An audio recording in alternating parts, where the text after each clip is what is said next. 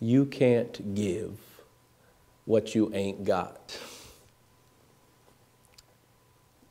You, the word that you proclaim, should be a word for you first. And if you ain't got love, you can't, how, how can you really proclaim love? And it has to do with the life of the preacher and claiming the idea that Mike Graves talks about in one of his books that to be a better preacher, one has to be a deeper person.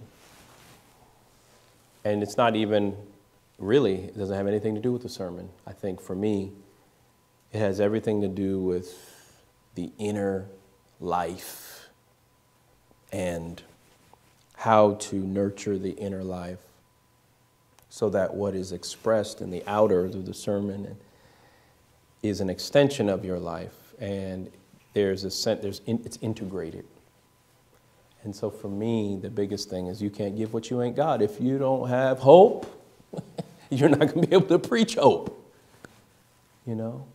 If you don't have peace how, how are you going to uh, preach peace?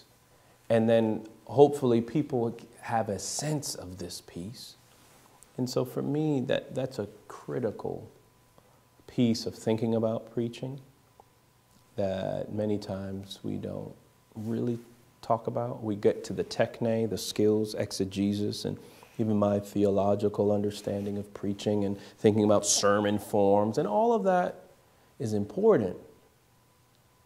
But where do we begin? You begin with yourself, and you begin with the excavation of your own soul. and you see yourselves in the presence of God, like Isaiah, woe is me, I am a man of unclean lips. You see yourself for who you are. Take a good look at yourself before you look at the congregation. And um, take, and I think that is, for me, one of the key uh, movements in approaching the sermonic moment.